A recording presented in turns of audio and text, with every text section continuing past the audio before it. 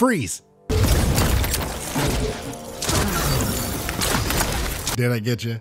Hello, my lovely monsters. I am Fasa the Silver Chimera, and I've returned with a new stasis build for the Warlock. Let's get to it. Part 1 The Weapon. We're using the exotic pulse rifle, no time to explain. This comes with the perk Rewind Again. Precision shots and shots against combatants slowed or frozen by stasis will return to the magazine. This is a stasis build after all, so this will come in handy in just a bit. The second perk is Time Slip. At 10 stacks of Rewind Again, a small portal will open, shooting bullets from an alternate timeline version of this weapon. Precision hits extend the portal's duration. So, this little bullet buddy is fun, and it also shoots frozen enemies, even if you're looking at something else. This weapon also comes with Feeding Frenzy, so the more things you kill, the faster reload. And finally, we have the Catalyst, Blast from the side. Projectiles from the time portal shoot more frequently. More bullets is always good in my book. Part 2 The Armor. We're using the exotic chest piece Chromatic Fire. This comes with the perk Crystalline Transistor. Precision final blows from kinetic weapons create an explosion that deals damage in the element of your subclass and applies elemental effects. So we get explosions, which is the only reason I wake up in the morning, and because we're in stasis, the little explosions will apply slow, which helps out with the synergy of this build. Part 3 Class and Mods. We're on the Shadebinder, and I recommend the Duskfield Grenade for the shorter cooldown. As for our aspects, first up is Ice Flare Bolts. Shattering a frozen target spawns seekers that track and freeze other nearby targets. I like spreading ice, so you can call me the snowman up in this bitch. The second aspect is Bleak Watcher. Press and hold the grenade button to convert your grenade into a stasis turret that fires slowing projectiles at nearby targets. With this aspect, we now have a bullet buddy and a freezing friend.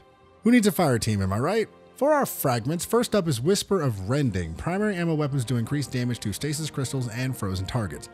No time is kinetic, so this just made sense. Next up, Whisper of Shards. Shattering a stasis crystal temporarily boosts your grenade recharge rate. Shattering additional stasis crystals increase the duration of this benefit. We'll be making crystals fairly often with our artifact mod, and we'll be using grenades a lot, so this helps us throw even more grenades. Next is Whisper of Fissures. Increase the damage and size of the burst of stasis when you destroy a stasis crystal or defeat a frozen target. More damage is good, and this helps with the spreading out of the damage, along with all the slowing and freezing shenanigans that are to come. Finally, we got Whisper of Bonds. Defeating frozen targets generates an orb of power, minus 10 to intellect. I love orbs for mod synergy and ability energy, and we're freezing everyone that looks at us wrong, so why the hell not? Moving to our artifact mods, the main two are, of course, Pillar of Ice, defeating a frozen target, spawn stasis crystals, and Hail the Storm. Shattering frozen targets and stasis crystals deals increased damage. Shattering stasis crystals release shards of ice that damage and slow targets. I also recommend Dragon's Bite since we're rocking stasis anyway, and remember that pulse rifles are anti overload this season, so now no time can deal with the demon spawn that are overload champions. As always, use the artifact mods that fit your playstyle and the content that you're running. For our armor mods, on the head, I'd say a kinetic siphon since we're using no time to explain, and I'd like using some heavy ammo finders, but hey, do you. On the arms, you're going to want a grenade kickstart mod for more turrets, momentum transfer, and impact induction for more ability energy. On the chest, I'd recommend two charged up mods to increase the amount of armor charges we have. On the legs, use stacks on stacks so you can fill up your armor charges faster Absolution for more ability energy on orb pickup, and recuperation for a little bit of health. Finally, on our class item, Reaper for more orb generation, distribution, and Bomber for more grenade energy. With all these pieces working together, you get a build that locks the enemy down. Personally, I think this build works really well in Onslaught. Your bullet buddy and turrets watch your back, and there's ice everywhere. The Seekers are freezing enemies in their tracks, and Chromatic Fire is sending a slowing burst every time you get the headshot, which leads to even more freezing and shattering. It's a great time. But now I need to talk about the most important part of any Destiny build.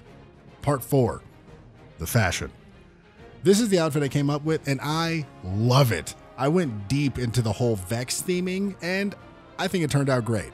The blue on the Conflex Control ornament from the Chromatic Fire fits beautifully with the rusty bronze coloring of the Omnichronia shader. And the pieces from the Hazen Lord set feel right at home here. It feels cold and calculating. Kind of like the build if you think about it. Henceforth, this build will be known as Frozen Time.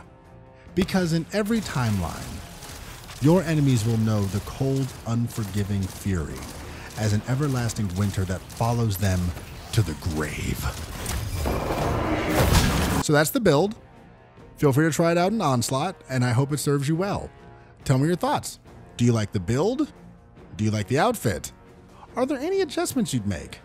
Talk to me in the comment section below. And if you don't know what to say, how about no time because you're in a hurry? Much love to all the new subscribers. Thank you so much. I appreciate it immensely. Welcome, and I hope you enjoy your stay. If you want more build to try out in Onslaught, I have a playlist right here. Feel free to check that out. If you want to hear my sexy voice reading some Destiny lore, I have a playlist right here. You know, don't be afraid to check that one out either. With all that said, if you could do me one more favor and look through the subscribe button's phone to see what it's really been up to, that would be great. I am Foss the Silver Chimera. Thank you for sharing your time with me today. It is an honor and a privilege. Have a good day, and I will see all of you beautiful monsters next time.